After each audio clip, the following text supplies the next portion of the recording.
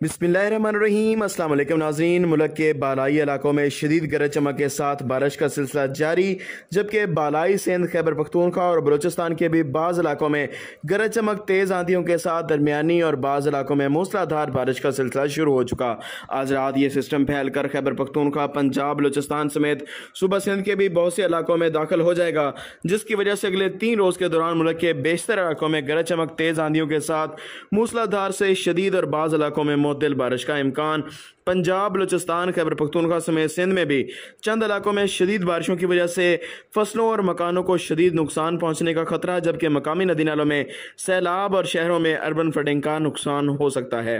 अगले चौबीस घंटों के दौरान और आने वाले मजीद दो से तीन रोज के दौरान मरी डावलपिंडी, इस्लामाबाद, लाहौर, फैसलाबाद, सरगोदा, मियावाली, खिता पटवार, मुल्तान बहावल नगर बहावलपुर डेरा गाजी खान समेत सुबह पंजाब के बेशतर इलाकों, कोयटा समेत सुबह बलोचिस्तान और कराची समेत सुबह सिंध के भी बेशतर इलाकों में गरज चमक के साथ बारिशों और बाज़ इलाकों में तूफानी से मूसलाधार बारिशों का इम्कान है। शदीद बारिशों के दौरान शहरियों से एहतियात की अपील है। हाजिर होंगे नई रिपोर्ट के साथ। अल्लाह हाफिज़।